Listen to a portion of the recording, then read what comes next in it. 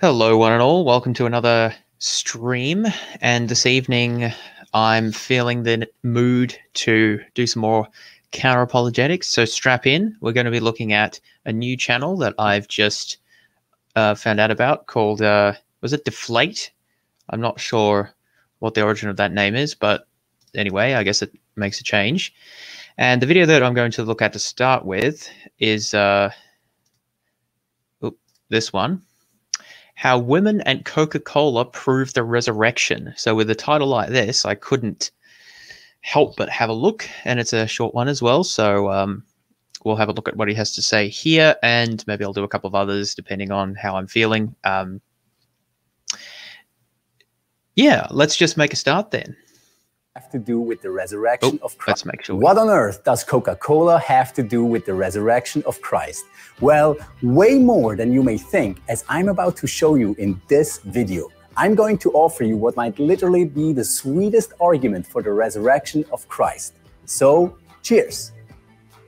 Hi, my name is Lucas, and welcome. Sponsored. welcome to my channel Deflate, where I challenge the skeptic strengthen the believer, and create a space for awesome discussions about the God who raised Jesus from the dead. Let's imagine for a moment that you want to publish an article aimed at making people believe that Coca Cola is the healthiest drink ever. How would you build your case in order for it to have maximal impact? Here's a couple of suggestions. You could get a study done by a respected chemistry lab, which ends up showing how Coca Cola's chemical building blocks positively affect the human body. Or you could interview medical doctors who point out the beneficial effects of Coca Cola. And of course, you could point to celebrities who endorse Coca Cola and pay them to talk about their newly discovered love for Coke as the go to thing for mental health and physical well being. Now, of course, no matter how hard you'd try to tell people that Coca Cola is the real health deal, we all know that when it comes to the actual facts, your case is lost from the very outset. Even so, if for some reason you want to wait wait wait. Why, why is your case lost? Uh, i think i missed that right? Because i mean maybe coke is uh, not an example of this but lots of industries have told their customers for a long time that their products are either good for them or good for the environment or whatever even though it's you know not true. The tobacco industry would be a clear example of this that you know just denied the evidence for decades and just you know published their own in-house studies and muddy the waters and so forth. Fossil fuel industries would be a more recent example of that with respect to the environment, not with respect to personal health, I guess. But I mean, I guess the point I'm making here is you can just kind of make stuff up. And this is the technique of called the big lie. If you just keep saying something repeatedly over and over again, loudly enough, um, and you know, with flashy graphics, celebrities, or whatever else, or prestige astounding uh, studies and such can also help. Then you know, a lot of people just believe it. Um, so I mean, this is kind of relevant as you'll see later, but it, it's actually not that hard to get people to believe something, if especially if you get, you know, you've got money behind you and you just sort of keep saying it. I, I don't know that this is like super relevant to his point exactly, but I just think it's interesting that he's using this example as if it would be like hard to do uh, to convince people of of something, even though it's not true. But it, we, I mean, it, we kind of have lots of cases where it, where that's exactly happened. But anyway, let, let's keep going to go forward with publishing your article, a key thing to build a convincing case is this. Mention trustworthy witnesses, like scientists, for example. Cite respectable sources, a magazine like Nature, for example. And refer to authorities people take seriously, like medical doctors. Now, from Coca Cola to the cross of Christ. Shortly after Jesus died, his disciples started telling people that he physically rose from the dead. Of course, if you're a skeptic, you'll say that this is far crazier than claiming that Coca Cola is healthy. The resurrection simply cannot have happened. And so, surely, for whatever reason, the disciples must have made up the story. Yes, it is possible that, possible that they made it up. But the real question is not whether it's possible that they made it up, but whether it's plausible that they did so. Now, here's the thing you want to consider. When the gospel authors wrote down this story, all four of them unanimously said that the key eyewitnesses of the resurrection were women. Why is this significant? Well, you need to know that in the world of first century Judaism, women weren't actually held in high esteem. That's why rabbinic tradition records that women's wisdom. You'd think if God was revealing His uh, will and, and all powerful, uh, you know, and all good nature to the Israelites, that they might have taken a bit more notice of the fact that, you know, surely God would have made it abundantly clear, hundred percent, no doubt, that men and women were completely equal. Um, obviously, he kind of dropped the ball on that one because the you know the, the Jews at that time were pretty strict. At least, I mean, many of the observant Jews were pretty strict about the idea of you know keeping the dietary laws and no other god before me and no graven images and all that because because you know Yahweh was was pretty clear about those things. Uh, like gender equality, you know, I guess you know it's it's about the interpretation and the cultural context and this other stuff. And I guess he just wasn't quite clear enough about that. Anyway, I just I think it's interesting that they sort of apologists like to point this out that women weren't respected that much, or at least their testimony wasn't in in the Jewish culture of the time. But what like whose fault is that? Like, isn't Yahweh supposed supposed to be giving them their their commandments and and uh, his his all good moral nature sort of wearing off on them at least to some extent? I don't know. I I think that aspect is sort of neglected, but it, it that's a tangent. But let, let's keep going. System is solely in the spindle, and that the words of Torah should be burned rather than entrusted to women. On top of that, women were considered so unreliable and untrustworthy that they were not to testify in a court of law. Thus, the most important Jewish historian Josephus states, Let not the testimony of women be admitted on account of the levity and boldness of their sex. This means that back in the day, if you wanted to publish a fake story aimed at making people believe that Jesus rose from the dead, the one thing you would definitely not do is make women your key witnesses. Instead, in your attempt to get maximum credibility, you would make a man, or even better, a group of men, or even better still, a group of well known and respected men, your key source, but definitely not women. And so you need to ask yourself the following question If the story of the resurrection is made up, why is it told the way it is? Why would the gospel authors make up a case that is built on the word of women if they knew perfectly well that this would make the whole thing a non starter in the eyes of their contemporaries? Why would the writer. Oh, okay. I'll leave it there because I want to end with this question. A non-starter. All right, there we go. So there's our question. Why would the gospel authors make up a case that is built on the word of women when they knew this would make it a non-starter because no one trusted, or at least Jews didn't trust the word of women? Well, let's have a little think about this. Put our skeptic caps on. I always wear mine, of course, but you might need to grab yours out of the cupboard or whatever, dust it off perhaps. Let's think about this. So we've got early tradition that a number of Jesus's male followers pretty much exclusively, as far as I know, claim to have seen him after he died. Okay, so we get this from, for example, um, Corinthians 15 with Paul and uh, I guess other traditions that later end up in the Gospels. Okay, so your Mark, the earliest Gospel writer that we know. Uh, I mean, maybe there are probably other Gospels as well, but we don't have those. So Mark's the earliest one we that's extant. Okay, and you're sitting down to write a, a gospel, a story of the life and teachings of Jesus. And you know from these traditions that are well attested and early that, uh, you know, Jesus's male followers saw him after after he died, and you know he preached to them and so forth. The trouble is, you don't have an a story about his actual resurrection from the tomb uh, that's anything like that early. M- maybe you've you've heard whispers or you, people have put out their theories, but but there just isn't a tradition that goes back um, you know that's anything like as well attested. But you can't just leave that out of the story right? I mean that's kind of important. Like the whole thing is the fact that jesus conquers death and he raises from the tomb on the on the sunday morning right? Um so you've got to have something in there to put in your gospel. So what do you do right? You don't have that tradition uh, and you know that your audience knows that that tradition isn't solid or perhaps didn't exist at all but you still want to put something in there to flesh out your gospel right so what do you do? What would you make up to put in there if you were in this position, right? Specifically, if you're if you're Mark. Now, um, I forget the guy's name who made this video, so I'm just going to call him Deflate. He, he did tell us, but I've forgotten. Uh, so Deflate here is telling us that Mark would not have made up women as the original people who saw Jesus come out of the tomb because no one would trust their testimony. But the thing is, if you're making up this story or perhaps embellishing let's say embellishing let's say harmonizing actually let's making up such a, a derogatory word harmonizing existing um, fragmentary oral tradition. So you're harmonizing existing fragmentary oral traditions to form an account that you're going to write in the gospel, right? To, to you know promote people's faith and so forth. Um, what are you going to put there? Well, obviously, you've got to explain why they've never heard this before, or at least not in the way that you're telling it. Why is it that they never heard this particular story of you know Jesus coming out of the tomb on the Sunday morning and whatever other details you're putting into it? Um, so you, you, whatever you've got to write has to be consistent with that.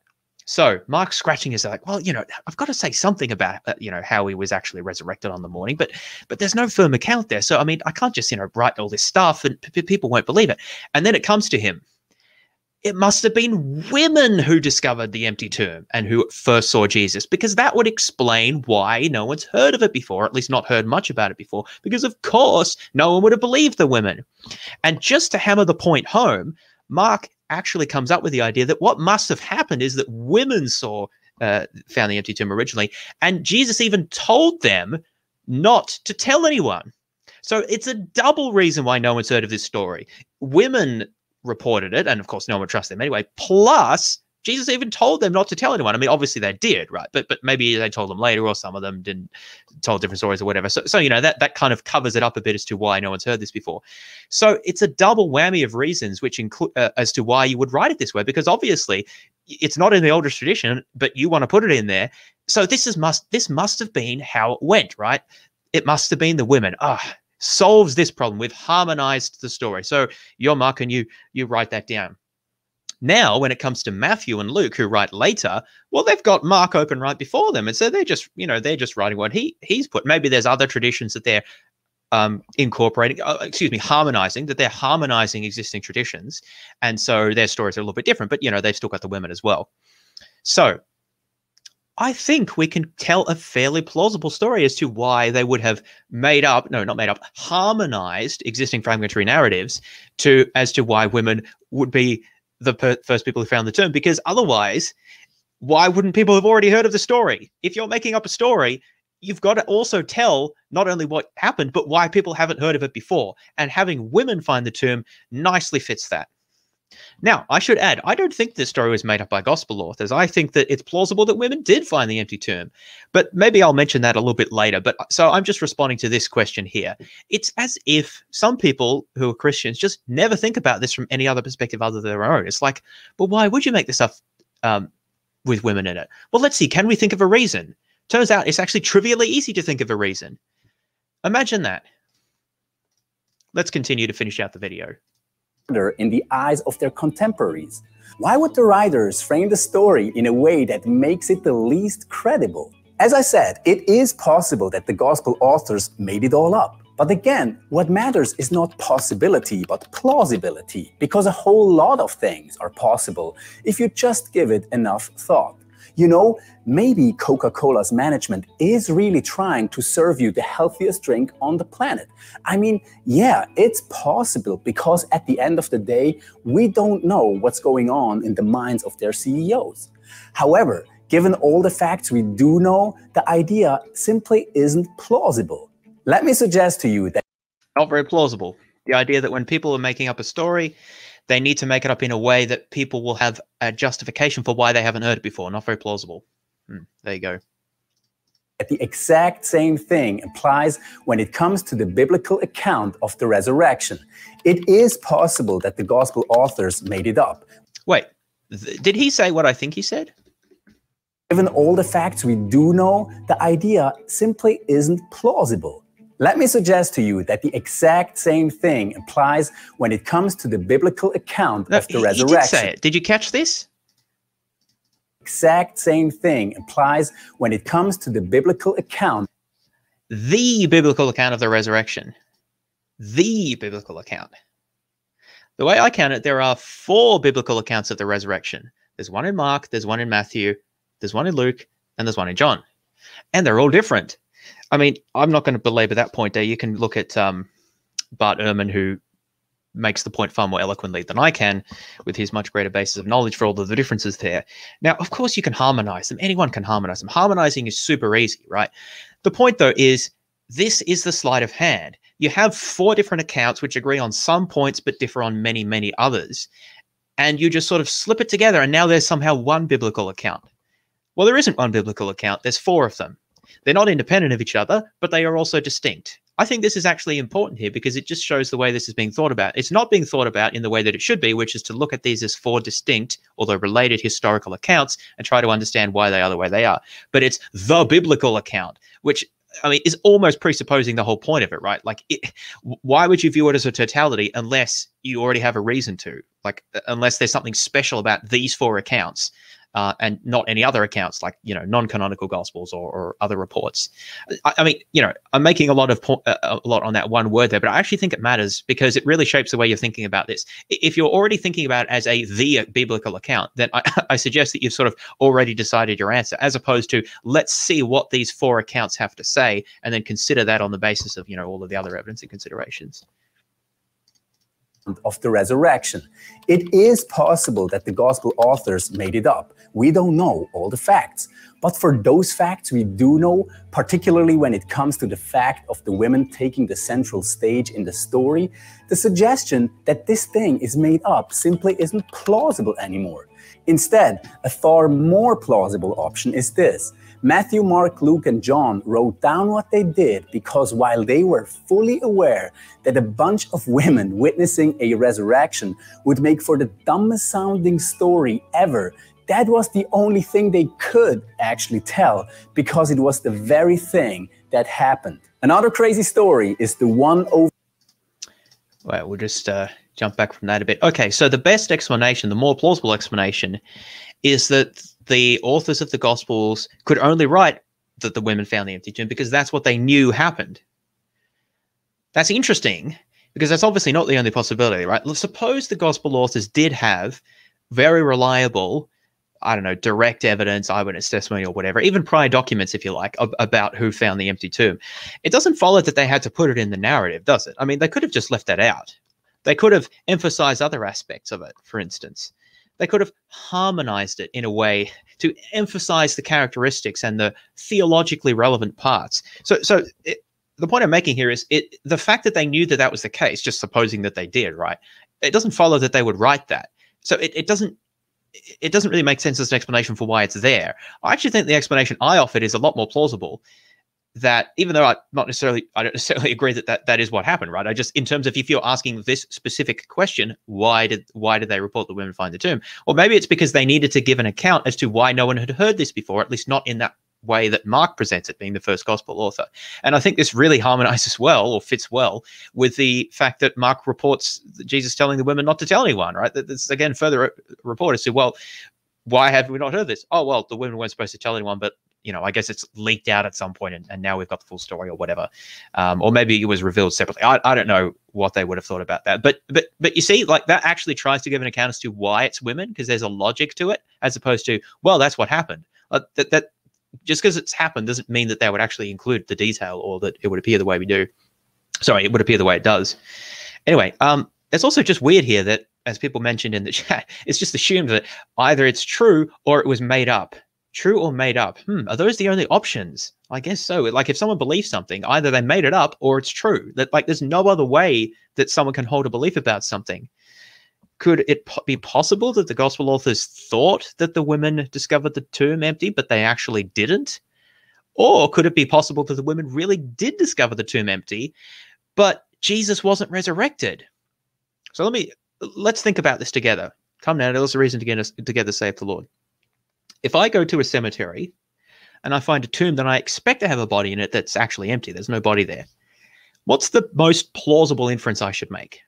Here's a couple of options. One, the body wasn't actually buried there. I just got the information I was given was incorrect.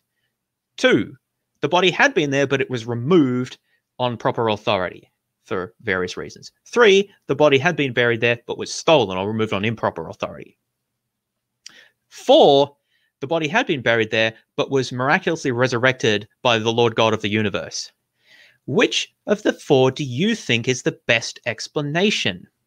Okay, so maybe that's hard because I know this is pretty controversial in some quarters. So let's consider a different example, which might make this a bit easier. Let's say you've been shopping and you go to the parking lot where you thought you left your car, but your car is not in fact there. Let's consider what the possible explanations are. One, you thought you parked your car there, but actually you didn't. You got confused or made a mistake. Two, you did park your car there, but the car was removed on proper authority. So, for example, it might have been towed because you were parked uh, in the wrong position, or perhaps there was some emergency they needed to move it. Three, you did park there and it was removed on improper authority. Basically, it was stolen. Or four, your car was removed miraculously from its location by the Lord God of the universe for his own purposes. Which of those four explanations do you think is the most plausible, and which do you think is the least plausible? I'll let you have a think about that. So, may I suggest that the one that you rank as the least plausible should be both. It should be the same in both cases, because saying that the Lord God of the universe did something like that is not a good explanation because the Lord God of the universe could do whatever he wants, but most of the time it seems that he doesn't do anything and just lets things happen the way they would ordinarily happen. So, whenever you are faced with any phenomenon that seems a bit odd, such as a body being absent from a tomb you thought it should have been in, you should almost never go with the Lord God of the universe decided to move it for some reason. You'd have to have pretty darn good reason for thinking that that was plausible outside of merely the fact that, you know, well, it's not there now. So the point there is that it could well be that the tomb was actually empty. That doesn't mean that the women uh, actually saw the resurrected Jesus. So there's a few considerations there that I think are quite plausible uh, or a reasonable response from the skeptic. Now, let's keep playing this because I think this will provide some interesting fodder for maybe the next video to look at. Because it was the very thing that happened. Another crazy story is the one over here. It's about a skeptic who thought that he'd never ever change his conviction that prayer doesn't work, but ended up doing exactly that after making a pretty cool experience. Click over here, don't forget to subscribe, and thank you for watching like and subscribe. Apparently, prayer can turn uh, like squares into triangles. That's pretty interesting. So let's. I got to have a look at this. It's been around a year since a close friend of mine oh. changed his mind 180 degrees from saying that prayer is. At least he said 180 degrees. I like it when people say he, he did a complete 360 with it. uh, but yeah, that's just an amusing Using slip of the tongue. But anyway, let's see what this story is about. Nothing but a mental exercise to admitting that God really does answer prayer as a result of something that happened to him, which he never expected. In this video, I'll tell his story, and if you're wondering whether prayer actually works, you should totally watch this. However, if you're thinking that I'm trying to prove to you that God answers prayer, you're mistaken. Camille, when was the last time there was something truly novel in apologetics? Instead, the real point of my story is far more surprising and challenging than you may think. So keep watching till the end. Hi, this is Lucas, and the point of this Lucas, channel is I'll to challenge to the skeptic, that. strengthen the believer, and to create a space for awesome discussions about God. Right, so th- that's actually interesting there. Um, he said that the purpose of this channel is to challenge the skeptic, strengthen the believer, and promote awesome conversations about God. So I've no problem with challenging the skeptic. Obviously, I'm a skeptic. I like being challenged. That's good. Strengthen the believer. I don't necessarily have a problem with that either. You know, if you think that Christianity is true, then you want to strengthen other people in their belief. Don't necessarily have a problem with that in principle. Depends, you know, there's details there. But what I think is interesting is that you don't want to challenge the believer. Right? Why would you not say, you know, challenge everyone or challenge the skeptic and the believer and then strengthen the believer. Like uh, you know again am i nitpicking? I don't think so because this is I, I, hear this a lot or something similar. It's like you strengthen the believer or reinforce it and then you challenge the people who are who are disagreeing with you. Instead of the way that you know logic and reason and evidence should be used which is to challenge everyone and to get everyone to respond to that.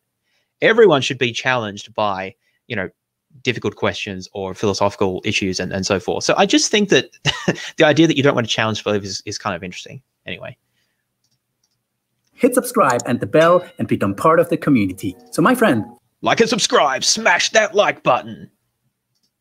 Let's call him Tom here, is a regular member at our Bible study for skeptics in downtown Beirut.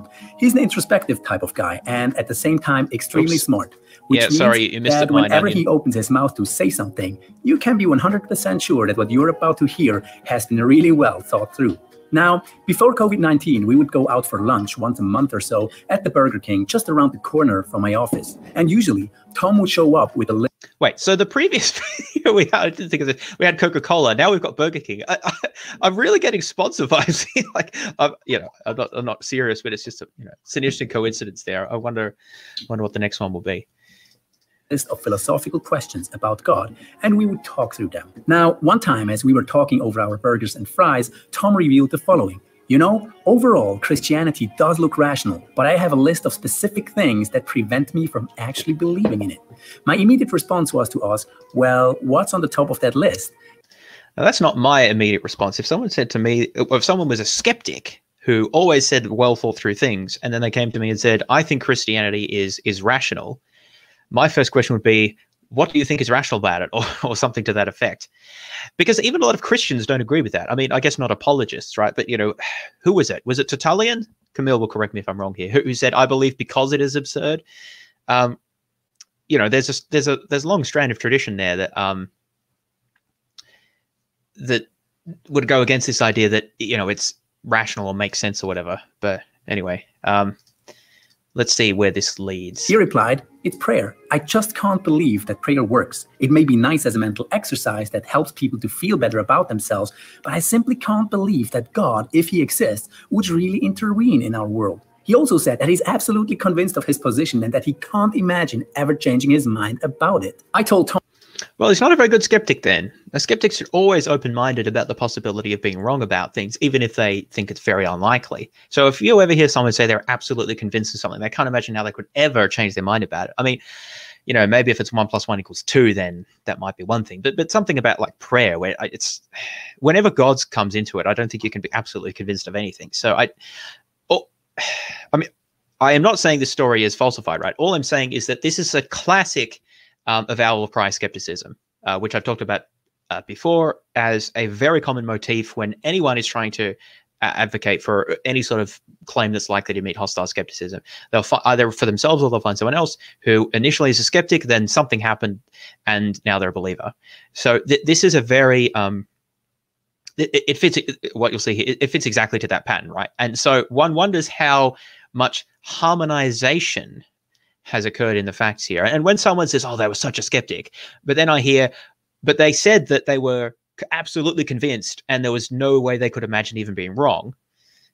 You know, I'm like, well, that doesn't sound like a very skeptical thing to say. I mean, you know, maybe you can't just judge on one sentence, but you know, things like that lower my confidence that the person was what I would regard as a well, a good skeptic. And a good skeptic, I would say, doesn't say things like that, or at least very reticently would say anything of that sort home the following right away.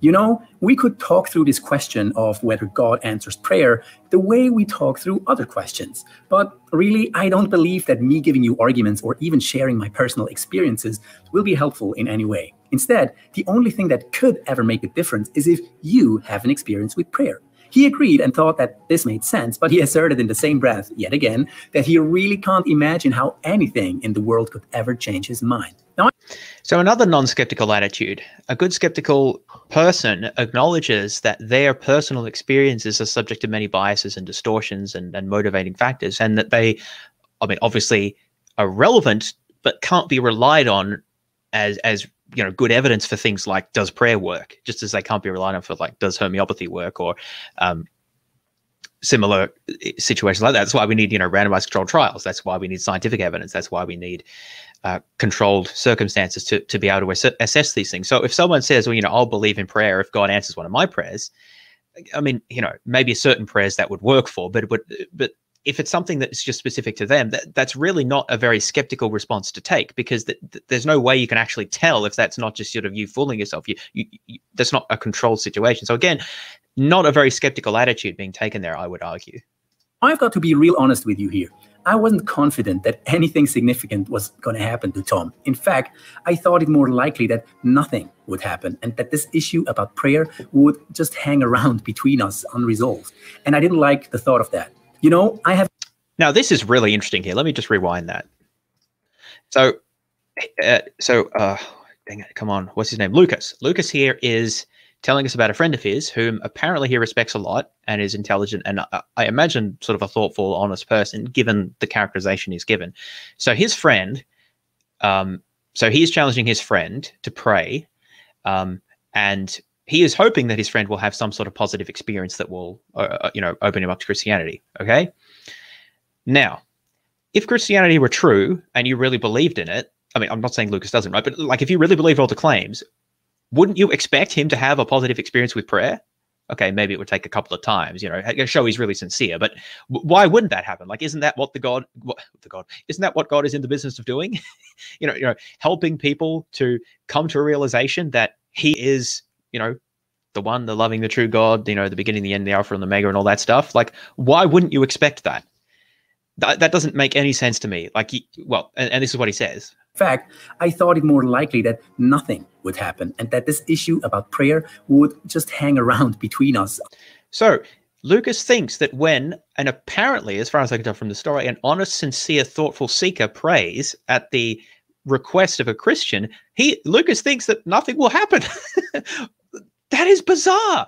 What is God doing if he doesn't do, you know, if, if he's not answering prayers like that? I mean, obviously he does sometimes, right? As we'll see here. But Lucas didn't expect it what sort of worldview do you have where where God is there and can answer prayers, but you don't expect that He will, even in these favorable circumstances? I'm flabbergasted as to why you wouldn't expect this. As a Mormon, granted some different theology, but I expected God to answer prayers in circum in analogous circumstances. It may take some persistence, but there is an expectation that He will do that. No, I mean he he, he didn't, right? he, he doesn't, but but that's the expectation. That's what the theology teaches. And if the theology doesn't teach that, then like what's God doing? Like it's just kind of he wants everyone to choose to love him and come into relationship with him, but when people earnestly seek him, he's like, nah. But like what? I just doesn't make any sense to me. But anyway, we'll we'll, we'll see more discussion of this in a bit. Unresolved, and I didn't like the thought of that. You know, I have a few close friends who say that if they just saw God intervene in their lives, they would actually believe. And I would love to see God do exactly that for them. But I must say that in many cases, I'm still waiting for it to happen, which is something I kind of struggle with. And it leaves me wondering sometimes, why wouldn't God just do it? You know, I've. Good question. I actually talked about this issue in more detail in my recent interview with William Lane Craig. So if you wrestle with the same thing, check it out here, I think. So Oh boy. So let me let, let me see if I can channel Craig here. I haven't watched that specific video, but let's see if I can guess what what Craig would say and people can maybe let me know in the comments if if I'm correct. So the question is something like why doesn't God answer the prayers of of every seeker or something like that? well, what you have to understand is that God has what is sometimes called middle knowledge. So this is a position called Molinism under Molinism, God doesn't just know what you will actually do in the future, but he also knows what every free creature will choose in every possible world. And it could be the case that God has actualized the world in which the largest number of free agents choose freely to follow him. And it could be the case that God knows that your friend would choose to reject him, even in worlds in which God revealed himself and answered the prayer. And so, in God's infinite wisdom, he has actualized the world that brings the largest number of free agents into communion with himself. And therefore, I don't think it's surprising that in this world we see God fail to answer many prayers because that is what we would expect under uh, a God who created a world to maximize the number of free agents who choose to accept him. Yeah, that was my crappy American accent. Uh, but anyway, uh, to answer to answer this, so that's what I've heard Craig say in other circumstances. So maybe that is um, different to what he said there. But anyway, let us continue. So because he doesn't talk about that here. How Tom and I departed from Burger King that day him convinced that prayer doesn't work and that nothing will ever change his mind. And me with serious doubts that the only thing that could ever change his mind would ever actually happen. Then, some three weeks later, at our weekly Bible study in Starbucks, we read a passage which was all about prayer. And for most of the evening, our discussion centered around the question of whether human free will and the idea of God responding to prayer is compatible with divine omniscience. Tom was mostly silent throughout the discussion, but at the very end, he said, Guys, you all know that I've been suffering from this brain condition, and God simply hasn't done anything about it, even though people have prayed for me, which is why I've come to the conclusion that prayer just doesn't work. So, yes, Tom has suffered from this thing, which would often cause him intense headaches, insomnia, and all sorts of other awful consequences. Depending on weather and other conditions, his pain would be super intense at some times, while being somewhat more bearable at other times. No doctor has so far been able to diagnose what Tom's sickness is exactly, which is why he has started to study neuroscience by himself in the hope that eventually he'll get to the bottom of his condition. Now, as we wrapped up that Bible study in Starbucks, one of my friends took Tom aside to ask him whether he could say a short. Starbucks now. it's kind of funny how many things he mentions. Like, I don't think I've ever mentioned any big brands like that, and we've got three in like two and a half video, uh, one and a half videos. But anyway, prayer for him, and Tom gladly accepted because while he was convinced that this wasn't going to make any difference, he was still open-minded enough to go for it anyway. The following week, we were scheduled for our monthly lunch at Burger King. Now, I was there first, waiting for. it's Burger King again, and we get the burger. Just like, how many times can you mention it? Oh, dear. Tom in front of the counter. As he walked in, he said hi and directly went on, Hey, Lucas, can I ask you something? I said, Sure, go ahead. What is it? He told me, You know, the last two weeks, my headache has been so intense that if I had to pin it down on a scale from zero to 10, zero being no pain and 10 being so painful that you want to kill yourself, I was constantly on a nine. And even though I've been taking very strong medication, I haven't been able to catch even just one hour of sleep a night because my body can't wind down due to the pain. But then on Thursday, George prayed for me and I went home after that. As I arrived, I went up to my room, fell on my bed, and slept for 12 hours straight. And since then, every night, I've been sleeping like a log for 12 uninterrupted hours, which is why I stopped my medication. And yet, I'm still enjoying the move for 12 steps for 12 hours straight. And since then, every night, I've been sleeping like a log for 12 uninterrupted hours, which is why I stopped my medication. All right, so so that part of the story. So I, I don't want to demean or make fun of this friend's story in any way. It sounds like he had a very serious condition. However, I, I, think that this story provides exactly the sort of uh, example as to why this uh, these ideas can be really harmful. Because uh, I just repeated that last part there. Did you, did you catch the part there? His friend was so convinced that something had happened, something special had happened to him, that he stopped taking his medications. Now, if it was just painkillers and he wasn't feeling the need for them, then maybe it's not such a big deal. But uh, uh, I mean, I don't know from the you know I don't know the details of the case, but you see how that can be concerning, right? If someone believes that they've been healed supernaturally or that God's intervened in some way, then and they just decide to go off their medication, it's I mean I assume that they hadn't consulted their doctor, like there's no indication of that. Uh, that's dangerous, and you shouldn't do that. And an ideology that promotes that sort of thing or encourages it, even in sort of indirectly, um, it, it is harmful, right? So, so that that right there is, is a real red flag to me. Is one of the reasons why I, I think it's important to push back against this. And yet, I'm still enjoying the most blissful sleep ever. Then he said, and I absolutely love the way he put it, Why do you think that is? Now, I couldn't suppress a smile and responded, Well, the real question is, why do you think that is? Then we ordered our meals and sat down and talked for at least two hours straight. then we ordered our meals at Burger King. I don't know why I find that so funny. Just it keeps mentioning it. But anyway, um, also, yeah. So if someone's talking to me about something like that and they ask, "Why do you think that is?" I'd say, "Well, you should talk to your doctor about this." Instead of, "Well, why do you think that is?" Let's talk about the Bible. Like it's just, it's manipulative. It's like people are in these terrible situations and then something happens to them. Look, even if God did have something to do with it, you should still tell them to go and talk to their doctor about it, right? Um, it's just really dangerous and I think again manipulative to to play on their uh, their vulnerable situation there to um, and and kind of at least tacitly encourage them not to, to, to seek their appropriate medical advice great about what happened, why it could or couldn't be explained as a mere coincidence, or why God would answer this prayer but not the prayers of other people who suffer even greater pain than Tom does, etc., etc. Yeah, that's kind of a good question. Why does God answer that prayer apparently, but not all of these other prayers of people who suffer even more? I, I hope to see him at least, well, discussing that in the three minutes. And I got left. to witness Tom really wrestling with the tension between his hardcore conviction that prayer doesn't work and the powerful experience he just went through. And as I said, Tom has a very sharp mind. So he really wanted to make sure he wouldn't give up his conviction before checking out all the options. Ah, well, good. So as a good skeptic, I'm sure he considered all of the other possibilities in terms of, you know, like confirmation bias, because obviously he was seeking and he, he wanted an answer here. And uh, in terms of he was, you know, motivated to believe that there was something outside the medication that could help him because evidently the medication, the doctors weren't working. So there's a very strong personal motivation here.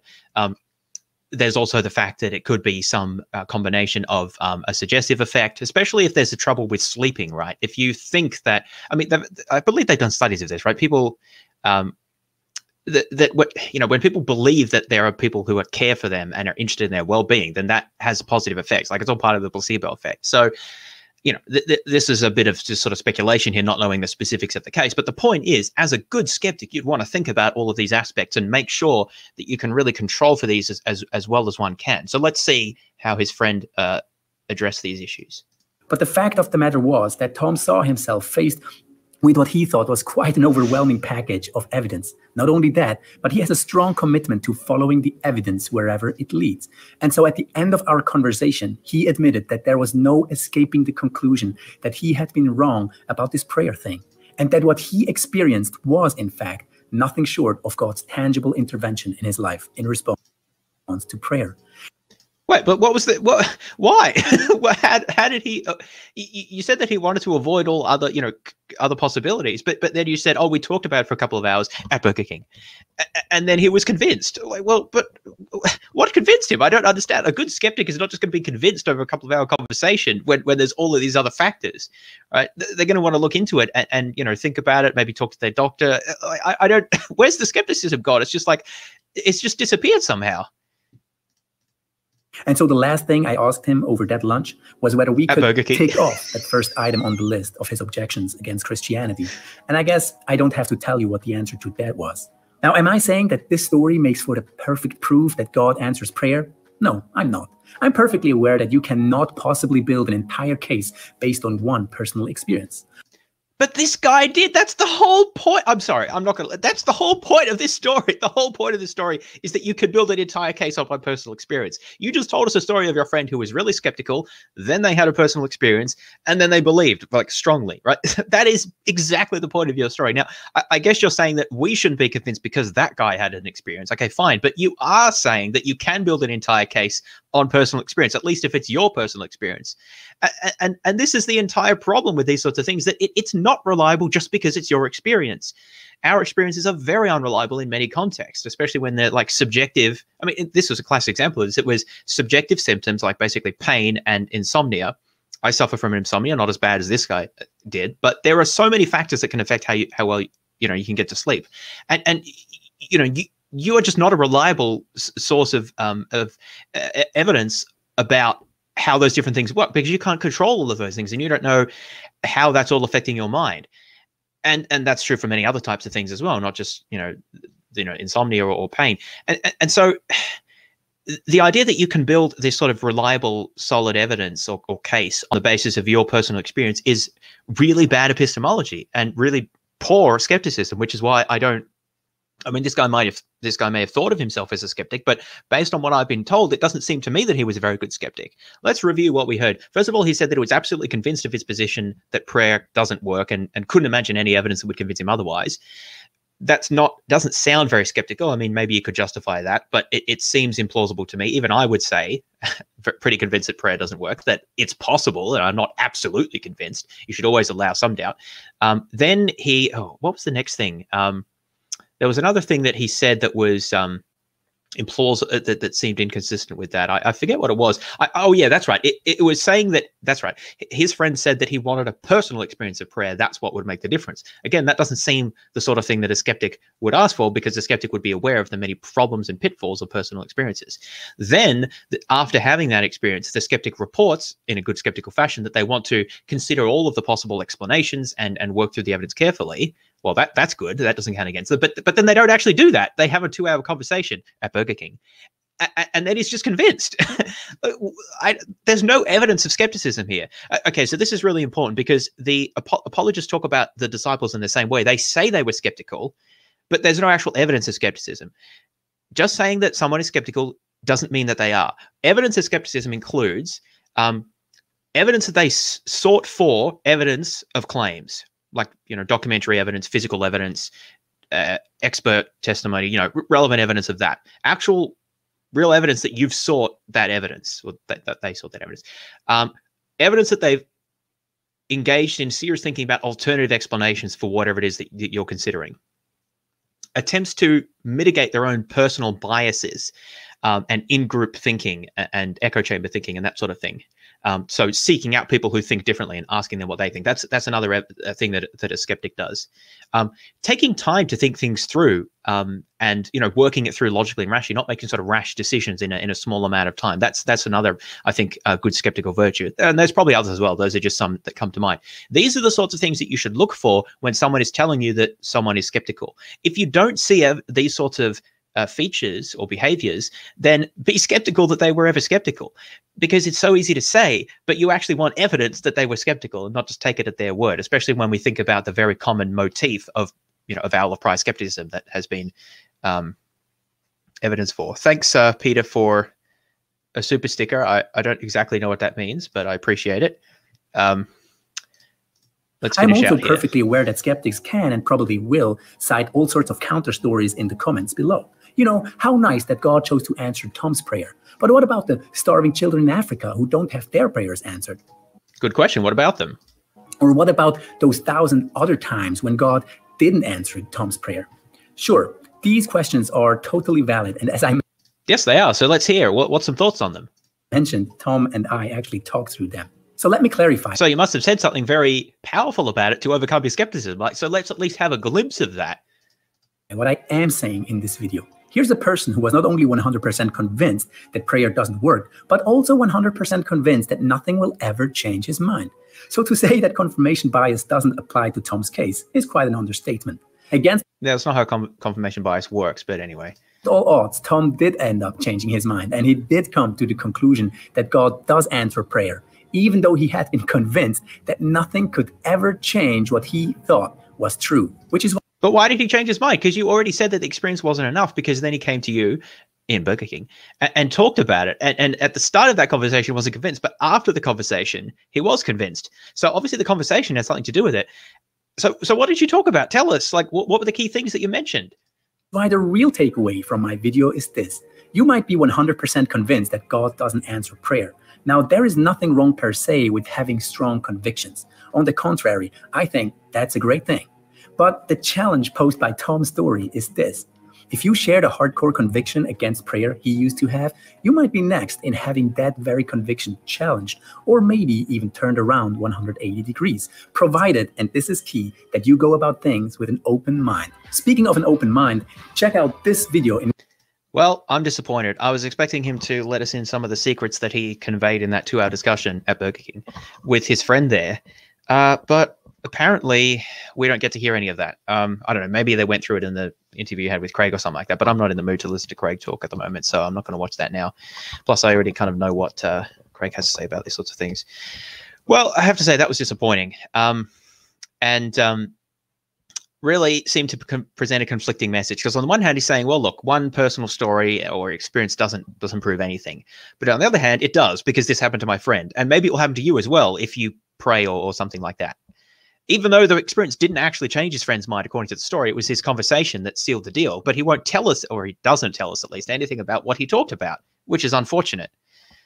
Uh, so a very unsatisfying video there. Um, not that I necessarily expected a lot more, but I mean, this question about why God is so selective in which prayers he answers is the biggest i think it's the biggest reason about um, the, the biggest reason to be very skeptical about the idea that god answers prayers because there's no rhyme or reason that's ever been offered, as far as I know, about why he answers some prayers but not others. Um, you know, he helps you find your car keys, but allows you know massive famines and diseases and natural disasters to take place, and doesn't help all of these people. You know, you can just say, well, God works in mysterious ways, and His ways are not our ways, and middle knowledge, and blah blah blah. But that actually doesn't answer any question. That's just saying, well, there's a reason we don't know. Um, not not you know not very convincing. Um, and you know, if if I ever do get to meet God, I'd certainly be asking for some pretty good answers as to why he just sort of sits there and apparently does nothing when uh, so many people need his help. Because um, I think, you know, someone in his position as our apparent Lord and God and Creator has an obligation uh, of you know uh, to exercise appropriate jurisdiction. If we had if if you have parents in charge of children or a government in charge of the nation, you, you don't just accept that it's like oh well you know they have their reasons for not intervening when you know their help is needed. That's just not good enough. Like you have an obligation to do that, and I think God does as well. And when people are specifically asking for His help, and He's just like, nah, but then like it seems like he needs a pretty good reason. So uh, if it comes to it, I'm going to be asking for those reasons. But of course, I don't think it will come to it because I don't think God exists, and I think that's the best explanation for why uh, there's no apparent rhyme or reason to why prayers get answered because it's just luck of the draw, basically. Um, thanks a lot, Scott, for your uh, donation. Scott Lott, that's a nice uh, name there. And also for Mitch Mazzaroli. Mazzarol, uh, I'm sorry, I butchered your name. Appreciate it. Now, I think I'm in the mood to do one more video. So this one is a bit extemporaneous here because I haven't actually selected a second video. So if you have a particular uh, from from the same channel here, so if you have a preference, let that let me know in the in chat in the next I don't know few seconds. Otherwise, I'll just sort of pick one that tickles my fancy. Probably a short one. Let's see what we've got here. Hang on, let's go to the full set of videos. I see he's been going for about 11 months, but he's got you know nearly 10k subs. Which are pretty good for only about a year's uh, being on YouTube for about a year. So he's doing well for himself. Um, let's see. He's been at Cosmic Skeptic, and again, uh, what's his face? Uh, who am I not interested? Isn't that isn't that demon guy? Oh no no no sorry that's that's the other Catholic dude. Uh, we did that one. We did the prayer one. I'm not. I don't want to talk about Ravi. Mm, oh, that's only one minute. Another atheist YouTuber, Cosmic Skeptic again. That one's 51 minutes. Too long. Too long. Atheism. Oh, I'm not interested in the whole atheism thing. It's so boring. Slavery. Oh, no, I don't want to hear about that. Oh, well, penalty dictionaries to debunk atheism. That sounds fun. Atheism, lack of belief, yet again. Why are Old Testament laws so weird? There's the Craig and Craig again. Who created God? Hmm, that one sounds interesting. Maybe I'll have a look at that one. Let me just see what else we've got here. Any favorites in the chat? The animal suffering one. Oh, Nathan wants me to look at the animal suffering one. Where's the animal suffering one? Oh wait, isn't that wasn't that Cosmic Skeptic? This one. Is that this one? No, it's Alex's problem. He debunked atheism. I'm guessing that's it. But you've got a link there actually, but I don't. How do I click on that? I'll wait for confirmation because I don't want to screw up by clicking the wrong link. He's got evolution again. Evil disproves atheism. Oh, that's got animals in it as well. Maybe it's that one. Someone let me know here. All right, you said yes. So let's go with this one then. I want to put forward in this video what I think is the hardest objection to respond to if you're a Christian. Cosmic Skeptic recently published a video where he talks about what he believes to be Christianity's biggest problem, the problem of animal suffering. In this video, I'm going to tell you why Alex's case is essentially an emotional appeal that directly contradicts evolutionary theory. But that's not even the half of it. Oh, what's wrong with emotional appeals? Craig uses them all the time. Have you not seen his video about meaninglessness without God? I mean, I guess I don't know that this that Lucas agrees with Craig's presentation there, but then he has had him on, so I don't know. Anyway. Because what you're about to witness is how Cosmic Skeptic's biggest shot against Christianity surprisingly turns into his most powerful argument for it. This is going to be very exciting. Hi, my name is Lucas, and geez, that was a creepy. Who does he get these images? That directly contradicts evolutionary theory. But that's not even the half of it. Surprisingly turns into his most powerful argument for it. This is going to be very exciting. I don't know why. I just like such a weird image. Anyway. Hi, my name is Lucas, and this is my channel Deflate, which challenges skeptics, strengthens believers, and aims to create great conversations about God. Guys, it is super important to me to make clear from the start that I really respect and appreciate Alex, and that everything I'm about to say is meant as an engagement with his worldview rather than as an attack against him personally. Now, you have to know that the case Alex. So I don't mean to, like, that's fine. I don't. I don't understand why some people find the need to say that. Like, I, I don't, I, I just sort of assume that people can gather that when I criticize something, I'm criticizing the argument, not the person, unless I very specifically criticize the person, which I don't usually do. So, like, I don't know. It's just one of these things where it's like, it, it, in other videos you see it, it's like, oh, everything in this video is just my opinion. It's like, well, what else would it be? Like, I don't, I just don't. Yeah, anyway, it's just one of these things I think is a bit strange. Alex puts forward has nothing to do with animal suffering which is inflicted by humans. Instead, he exclusively focuses on the suffering wild animals endure apart from human involvement. And you're about to hear plenty of examples of that from Alex himself. His claim is essentially that the existence of an all-powerful and all-loving God is implausible given the amount of pain animals have to live with in the natural order created by God. And since there are literally trillions of animals, the problem of animal suffering is, according to Alex, even bigger than the problem of human suffering. Or as he puts it, If the problem of suffering is historically one of Christianity's biggest problems, then the problem of animal suffering is its biggest. here is how he starts his case. So I should probably begin by unpacking why animal suffering is such a problem worth addressing in the first place. If human life is, as I've argued, infused with pain, then non human animal life is defined by pain. Okay, let's pause here for a moment. I don't know where Alex gets this idea that animal life is defined by pain. I mean, are we really to believe that the thing that defines a dolphin, a butterfly, or a chimpanzee is the experience of pain? Why is this the ultimate identity marker for what it means to live as an animal? Why not? Yeah, uh, I mean, I, I think you have to realize that Alex is saying that in a, I guess, figurative way, not literally. Oh, it's the definition of animal life that it's pain. I, I mean, I thought that was pretty obvious, um, just listening to that. But anyway, not the urge to reproduce or the urge to feed. No, it's pain, says Alex. And we're going to see later that this directly contradicts evolutionary theory. But let's indulge Alex for a moment and see why he thinks that pain is the real deal. Animals in the wild are subject to endless torment from all angles of their existence. Yeah, sure, I totally buy that. No, I mean, come on, Wait, what? seriously? Does Cosmic Skeptic really think that we're gonna fall for his emotional appeal? Wait, what? That all animals from the moment they're born until they die are endlessly tormented? Man, and I always thought Alex doesn't believe in hell. Yeah, I mean, look at these. The torment is tremendous. Or here, torment from every angle of their existence. I mean, consider that while you're watching this video, every wild animal is being tormented every single second of its life. God is so mean. But Alex isn't done yet. They suffer from predation by other animals. Wild dogs disembowel their prey. Venomous snakes cause slow internal bleeding and paralysis. Crocodiles drown large animals in their jaws. Now, the topic of predation features very prominently in Alex's talk, and he makes a big deal out of the fact that animals can die a violent death as a result of it. I will pick this up later and show you why, in his emotional fervor, Alex completely misses the point here. Finally, I'm not getting emotional fervor. I mean, I, I, I guess that's a bit subjective, but I don't know. Uh, Alex seems pretty straight laced and, and just sort of uh, focused. Uh, It doesn't seem emotional. fer- If you want emotional fervor, watch William Lane Craig's video about why life is meaningless without God. There's emotional fervor. That is, ooh, that one is fun.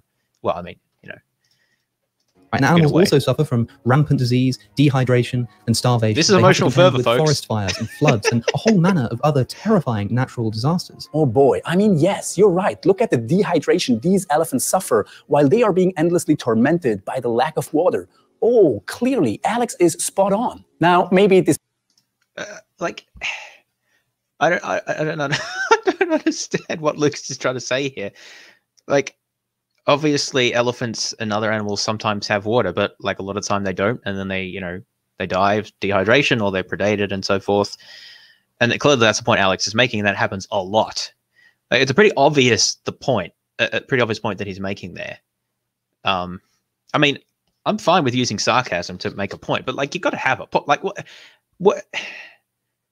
Why start the video with trying to be all nice? Oh, you know, I really respect him, and then you strawman him ridiculously with this sarcasm that seems like you have no respect for him at all. Like I don't. It's just really strange tone, uh, but also completely lacking a point. Like it's very obvious what his point, what Alex's point is. Um, especially when the subtitles. Oh, mate, no, this is.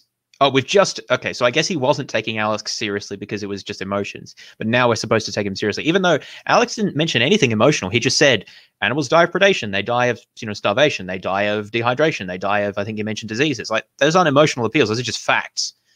And and he's just he's not he didn't show lots of images of animals suffering or of you know put music manipulative music up or have him walking around looking sad with all of these you know dim lighting and stuff by the way that's what craig does in his video that's emotional ma- manipulation like I, I don't i don't see that at all it's just weird anyway let's hopefully we're going to take him seriously now so let's have a more substantive response. This was cheap. I'm sorry, but please allow me to explain myself. First, my point is not to make fun of Alex because he But cares for animals. just did, not at though. all. I am the truly happy father of a nine-year-old boy, my son Aaron, who has single-handedly organized over 30 kids at his school into a safe green and safe animals advocacy group and leads them in picking up trash and helping worms, bugs, and ants in the school courtyard. I feel nothing but gratitude and respect for the drive he has, and I can honestly say that his passion challenges me. In the same way, the authentic example Alex sets when it comes to caring for animal well-being unsettles me in a very positive sense. In fact, I just found that really strange. It's like, oh no, I'm not making fun of people for caring about animals. I care about animals too.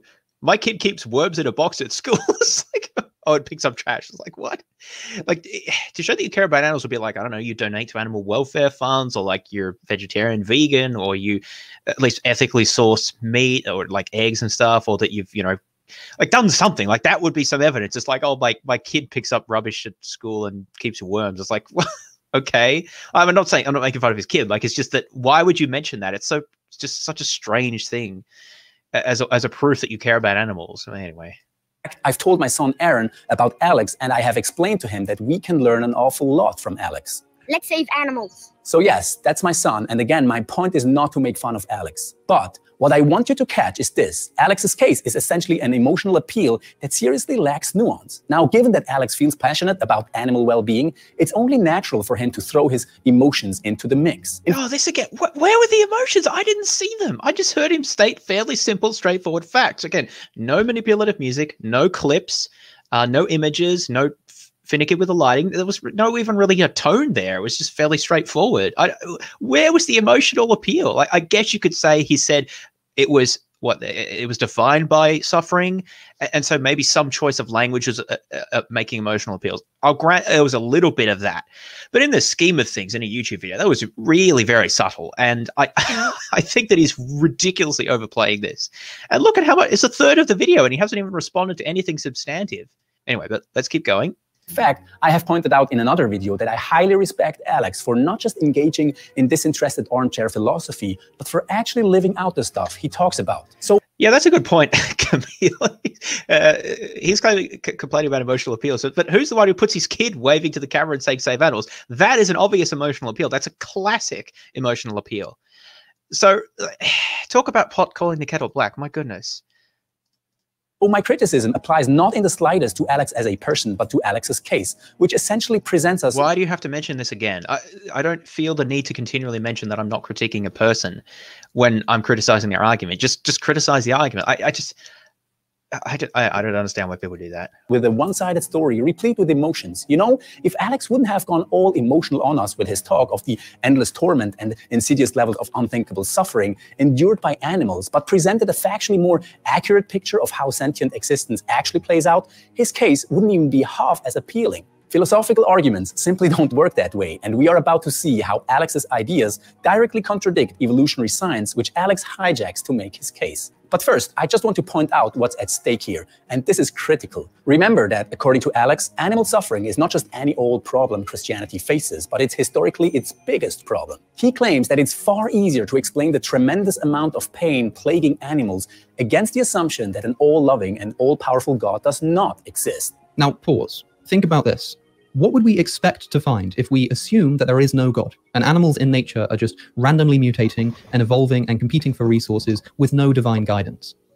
Well, we'd expect pretty much exactly what we observe in the real world a messy bloodbath and a struggle for survival. And what would we expect to see if we assumed the existence of an all loving and all powerful God? Maybe some level of suffering that we might not be able to fully explain, but nothing even remotely approaching the level of horror and pain that actually exists in the natural world. It is incalculably easier to account for this suffering on an atheistic worldview. Now let's apply Alex's logic to the following hypothetical scenario. Let's say we happened not to find a messy bloodbath and that it was not the case that animal life is defined by pain. But instead, we found a world in which animal life happens to be defined by pleasure. A world in which animals are not endlessly tormented in an earthly hell, but where they are alive and well, healthy and happy, and enjoying themselves in a kind of earthly heaven instead. Such blissful animal existence would not, according to Alex's own logic, constitute the biggest problem of Christianity, but the biggest problem of atheism. Because if it is incalculably easier to account for the suffering, that is, the horror and pain that actually exists in the natural world on an atheistic worldview, it also holds that it would be incalculably harder to account for a happy animal existence on an atheistic worldview, and at the same time, incalculably easier to account for it on a Christian worldview. Now, mark these words as we're finally moving from Cosmic Skeptic's emotional drama to actual what was with that anime there? But yeah, uh, so in terms of what Lucas has said here, I think I basically agree. If if in the animal kingdom we observed what he just, what Lucas just said, that his animals were pretty much like happy, pretty much all of the time, most of the time, and, and they lived in harmony and, and so on and so on, like the Garden of Eden style. Yeah, then I think that would be some evidence in favor of that it was created by uh, an, an all powerful God, or at least some sort of overarching intelligence, because uh, you wouldn't really expect that to evolve. I, I I'm I'm basically on board with that. So let's see where he's going with this. Scientific theory I'll be citing an accomplished Austrian academic called Martin Balluch, who has studied applied mathematics, astronomy, physics, and theoretical physics. He has okay. taught and done research at Cambridge and other universities. But there is more, and this will be of particular interest to Alex. One of the PhDs Dr. Balluch holds is on the philosophy of animal rights, and he has moved on to become a prominent animal rights activist in Europe. He's co-founder of what is one of the most influential associations against animal factories in the German-speaking world, the Verein gegen Tierfabriken, which I used to support in my early 20s. Balluch has led countless campaigns for animal rights and has received international awards for his efforts.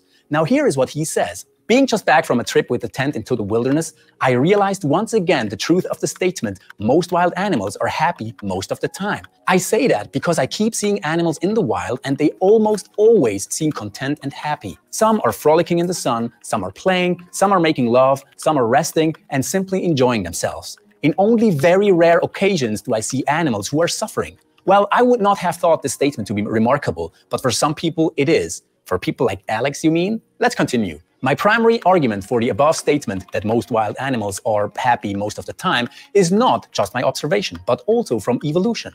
Being happy is an important psychological state for animals in order to be healthy. A happy animal has not just a much better immune system, he or she is also active and inquisitive. Being happy and content is a vital ingredient to procreate and to live safely and long. Hence, evolution will produce animals who are mostly happy. Of course, if you assume evolutionary theory, this makes complete sense, doesn't it? Happiness is the psychological state most conducive to survival, which is why evolution will produce happy animals rather than.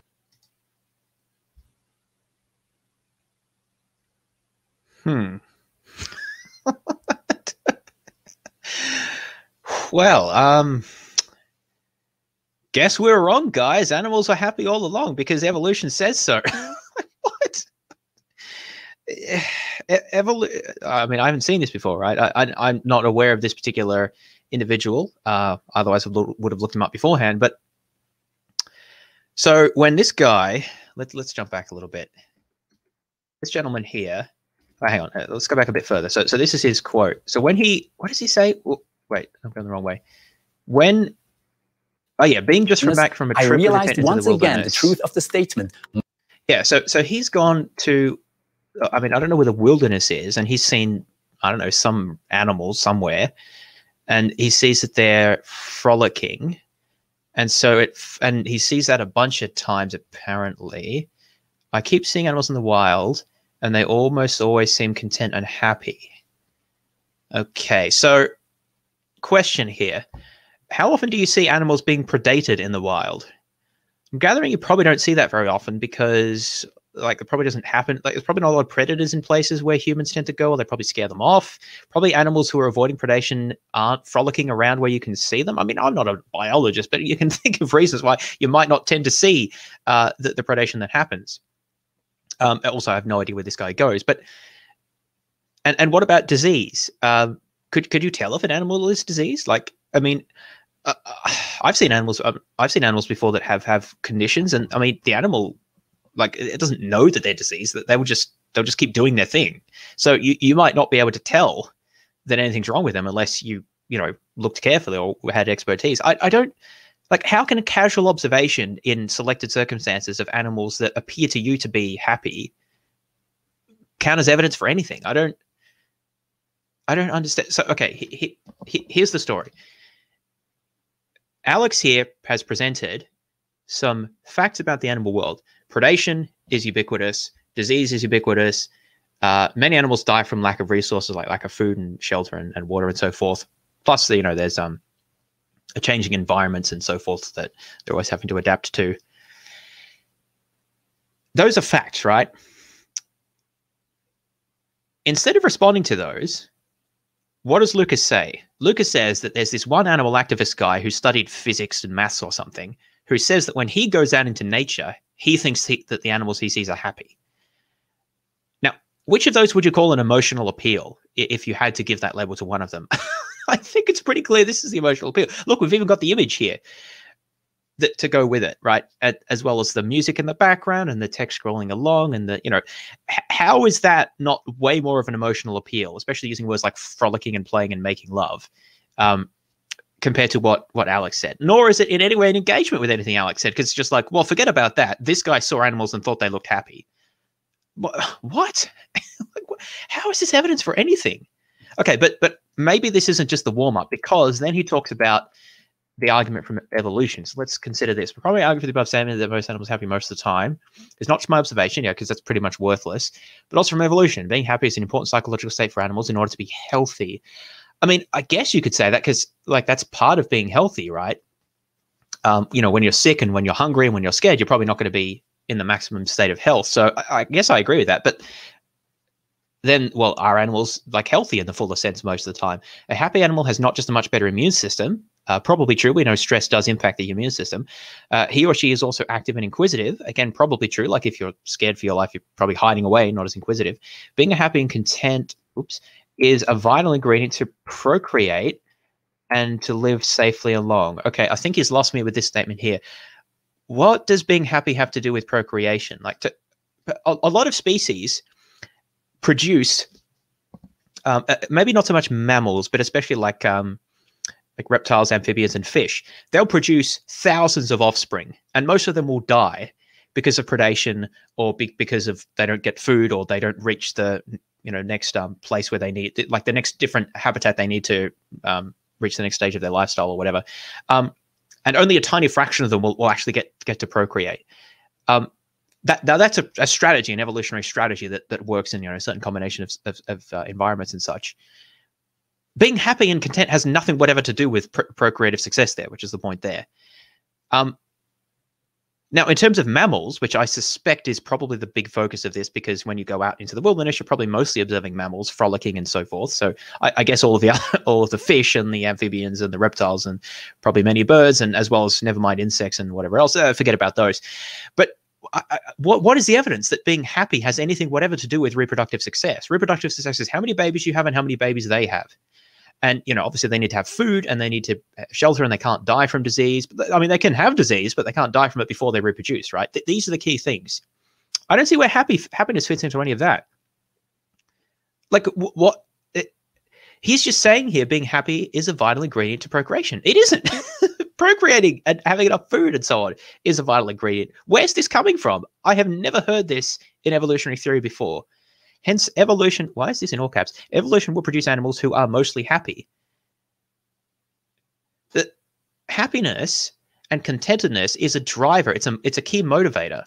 It helps us to seek out food, to seek out shelter, um, to seek out, you know, mates, obviously, uh, and to seek out other things that we need to survive. Generally, animals are not going to have all of those things to the to the maximal or to the, even the sufficient extent. I mean, some, of course, will, and they may be happy, but most of them most of the time won't. How do we know that? Well because most animals don't survive. Like eh, that's that's the whole point of evolution. The overwhelming majority of of animals who are born do not survive and do not go on to reproduce but instead um, only the fittest in the sense of most adapted to their environment do so. And, and that means that all of those who are not most adapted or i guess who are also just unlucky will not have their the needs to which happiness is a driver satisfied. Like they won't have all the water they need, all the food they need, or they won't be safe from predation, or they won't have shelter and such. And I, I don't think those animals are going to be that happy. But, you know, if if they're constantly frightened, or if they're being eaten, or if they're sick, or if they uh, you know can't find water, and all of these other things, it, it just it doesn't it doesn't make any sense. Um, I I'd like to see actual you know peer reviewed studies that establish some relationship here. Granted, animals are happy some of the time. No denying that. That wasn't The argument, though, the argument is how do we explain the massive amount of suffering there is in the animal kingdom, in, in the wild? And the evidence against that is some animal rights activist telling us that he thinks animals are mostly happy in the wild because apparently he sees it when he goes camping or something. And this vague argument that for some reason being happy leads to reproductive success because it helps you with your immune system. Like, what's the actual argument there? Again, let's think about this. Um, pleasure and pain and happiness are drivers to achieve the relevant um, states that animals need, like things they need for survival. Most animals don't achieve these to a very large extent because, like most animals die, don't go on to reproduce. And therefore, they're not going to be happy a lot of the time. Like, I don't think animals are happy when they're predated, when they don't have enough food. So I, I don't, I just don't understand this. Um, let's continue. Of course, if you assume evolutionary theory, this makes complete sense, doesn't it? Happiness is the psychological state most conducive to survival, which is why evolution will produce happy animals, rather than animals that are all sad and terrified because Alex believes them to be tortured day and night, which they obviously aren't. Hence the title of Balluch's article, Most Wild Animals Are Happy Most of the Time. Finally, Balluch states, it is true that most animals die a violent death in the wild, but that does not contradict the above statement. If I am killed today, I would still have lived a mostly happy life. Remember, I told you that while the issue of predation is a big deal for Alex, he misses the point completely, and Balluch exposes plainly and clearly why this is so. The one, two, or three minutes of pain an animal may experience before it dies does not negate the fact that it has led a happy existence for years before that.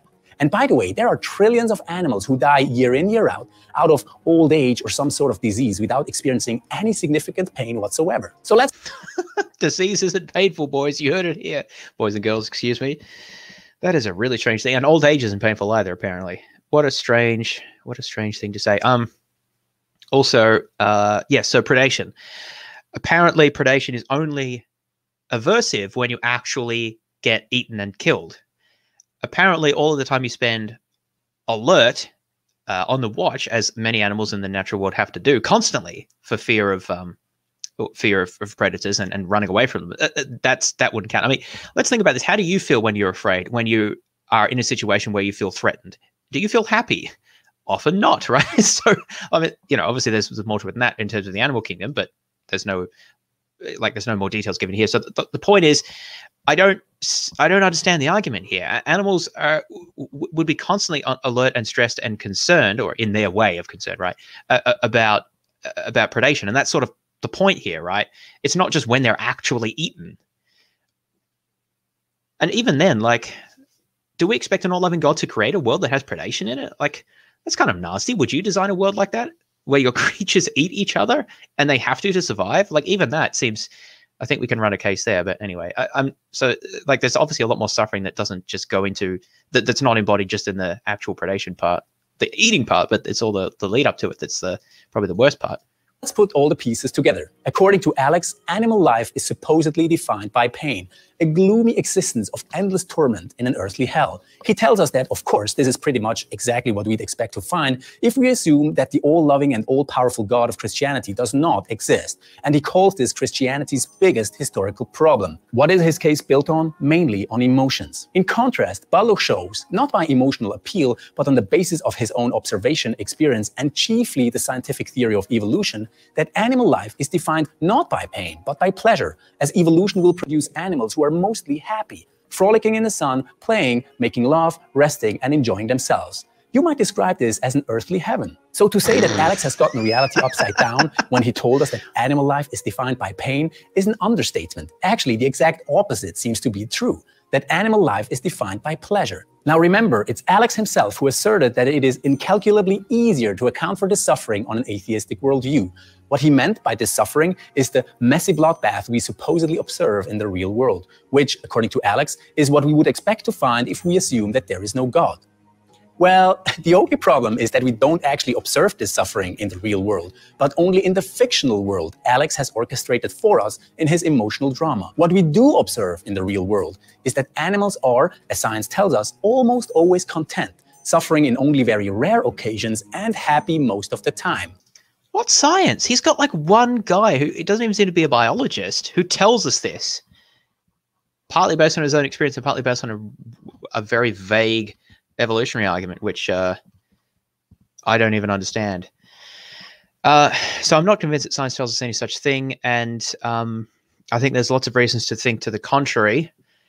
I'm just going to finish out the video. Then Camille has a few points that he'd like to um, that he'd like to make. Apparently, uh, he he disagrees with my take here. So I want to finish the stream out pretty soon, but I also want to finish out the video properly in case there's a nuance I've missed. So we'll do that Thus, first. if Alex is to apply his very own reasoning consistently, he would have to agree that it is incalculably harder to account for this happiness on an atheistic worldview, because it's the very opposite of what we'd expect to find if we assume that there is no God. At the same time, according to Alex's logic, it is incalculably easier to account for this happiness on a Christian worldview, because it is, as Alex himself tells us, exactly what we would expect to see if we assumed the existence of an all loving and all powerful God. That is, some level of suffering that we might not be able to fully explain, but most of all, happiness. So, where does this leave us? It leaves us staring at the rubble of Alex's supposedly biggest case against Christianity, which has utterly collapsed under the weight of reality. A reality that is infused with far more beauty and goodness than Alex imagines. Or to borrow a term from the most prominent atheist thinker turned Christian in the 20th century,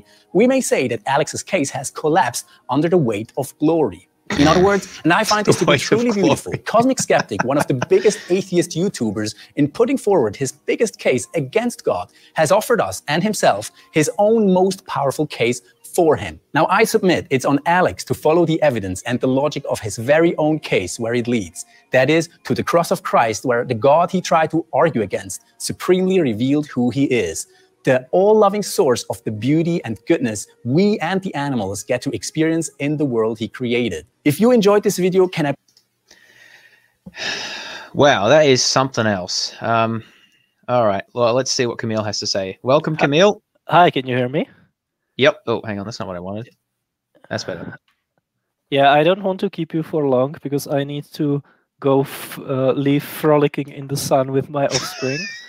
um, but yeah, like uh, when people reply to this video, it's really interesting that they go after the idea that animals are happy most of the time and that them not being happy hinders in their procreation somehow. But I think that's that's that's misdirect, right? Uh, so usually the di- dialectic is about how much suffering animals experience and whether it's like a good depiction of reality to say that they are happy most of the time. But first of all, I don't think that's the real uh, issue. The most important issue is why is there any animal suffering in the first place on the theistic worldview? Like, what does God Hmm. get from permitting animals to suffer or causing animals to suffer, right? Because animals don't have a free will. Um, so even if like every animal was experiencing utopian existence all the time, but there was just one species that experienced predation or parasitism, that would be a problem for the theistic worldview, right? But uh, but when it comes to like what he said about animal happiness, it's important to realize that we would be probably talking only about higher level animals like birds, mammals, and stuff like that. Those kinds of animals do have psychological well-being similar to people, you know, on, on on various levels. So I think it's meaningful for to say that they experience happiness. Uh, they some animals can experience depression, for example. And I'm not a zoologist, but my understanding is that yes, like a, a lack of psychological well-being in animals is tied to them reproducing less, which is true about humans as well. Like if you're suffering from untreated depression, chances are you're not going to have sex that often, which means you're less likely to have kids, right? So yeah, that's my understanding. So you think that his evolutionary argument is fundamentally correct then? Uh, yeah, I think that like on evolution, we would expect happiness to exist because it does fulfill an evolutionary function. Yeah. And I think it's the case that like if there is a, an animal that has psychological well-being, uh, but it's being deprived of that, of that well-being, one of the consequences of that is going to be the animal is going to be less likely to reproduce. I think this is non-controversial. Like in, in zoos, for example, this is a big problem because if the environment is not suitable and the animals are experiencing essentially like psychological issues, right?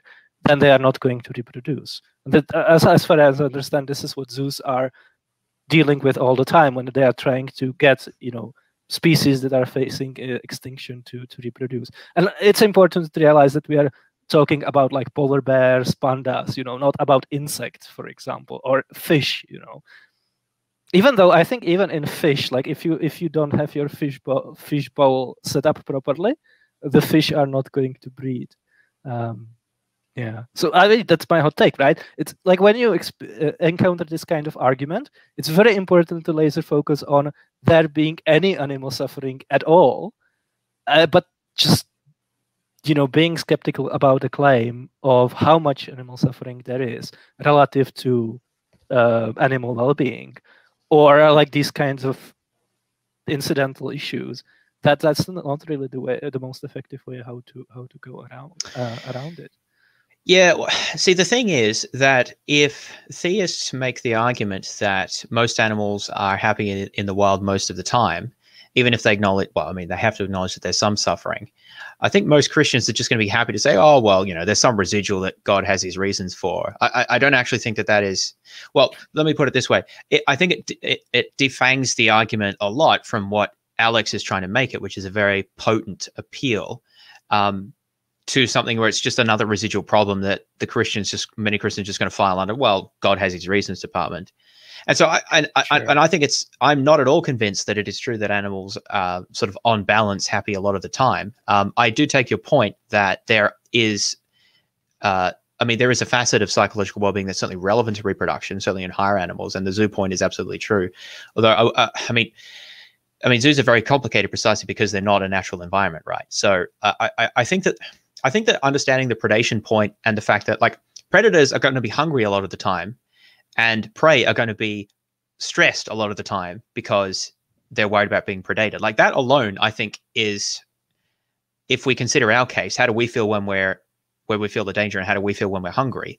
Obviously, that's not perfect, but uh, I mean, I think alone that that draws us to a, a, skepticism of these sorts of claims. Now, I, I don't think that we have very good knowledge about the like psycholo- We don't have good knowledge about the psychological states of animals. Period. Especially not of wild animals because they're very hard to study. And so, I mean, uh, you know, I, am open to being wrong about this, but I, I certainly don't think that it's nearly as plausible evolutionarily as as being made out in in this video here, um, or that like science shows that animals are in the wild are happy a lot of the time.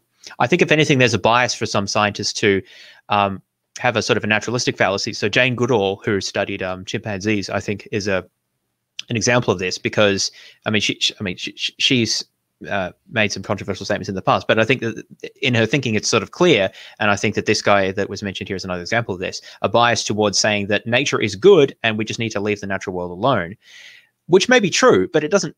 I mean, that's that's a slightly different point, but it doesn't actually follow that animals are happy in their natural environment. And I think that, I mean, I'm part of a movement called effective altruism, and something that effective altruists sometimes talk about is the problem of wild animal suffering this is this exact issue, right? That most most other people just don't even mention because we just think, oh, it's nothing we can do about it and too hard and we don't know and whatever.